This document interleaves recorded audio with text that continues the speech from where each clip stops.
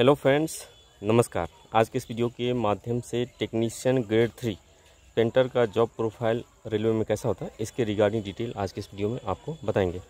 Technician grade three painter जो है actually जो इंजीनियरिंग डिपार्टमेंट होता है रेलवे का उसके अंतर्गत भी आता है सिविल इंजीनियरिंग विभाग में।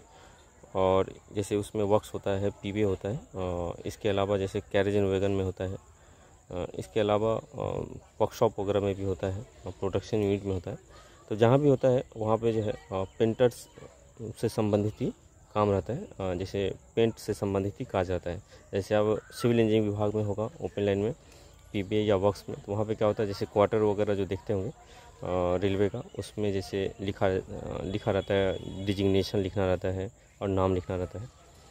इसके अलावा अगर आप पीवे में रहेंगे। तो उसमें क्या होता है, रेलवे का जो पटरी होता है, उसमें चेंज चेनेज जो है लिखा जाता है।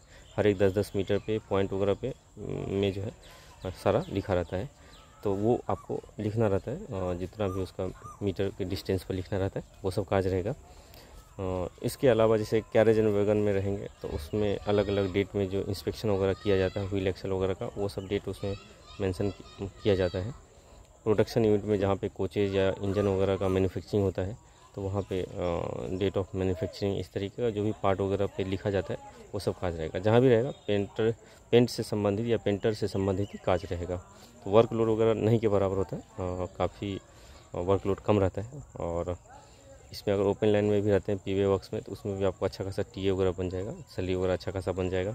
इसके अलावा वर्क्स वगैरह में भी रहेंगे तो भी वही ब्रिज वगैरह में देखते होंगे H F L high flood level लिखा जाता है डेंजर लेवल ये सब लिखना रहता है एसएससी ब्रिज के अंतर्गत पोस्टिंग किया जाएगा या वक्स के अंतर्गत किया जाएगा या पीवे इसके अलावा कैरेज वगैरह में। तो सब जगह वो पेंट से संबंधित ही लिखने से संबंधित ही कहा जाता है। ओवरऑल वर्कलोड वगैरह कम रहता है, इसका सैलरी जो है आपको उन्नीस सौ ग्रेड पे का जॉब है, उन्नीस हज़ार नौ सौ बेसिक है। और इसका आपको प्रमोशन जो है सीनियरिटी बेसिस पर होता है, उन्नीस सौ से चौबीस सौ ग्रेड पे हम जाएँगे सीनियरिटी बेसिस पर, फिर चौबीस सौ से अट्ठाईस ग्रेड पर सीनियरिटी बेसिस पर। शुरुआती दौर में आपको थर्टी फाइव थाउज़ेंड से फोर्टी थाउज़ेंड के बीच में जो है सैलरी मिलेगा। बाद में सैलरी आपका बढ़ेगा सर्विस लेंथ के मुताबिक। तो आशा करते हैं इस वीडियो के माध्यम से टेक्नीशियन ग्रेड थ्री पेंटर का जॉब प्रोफ़ाइल रेलवे में कैसा होता है, इसके रिगार्डिंग डिटेल आज के इस वीडियो में आपको समझ में आ गया।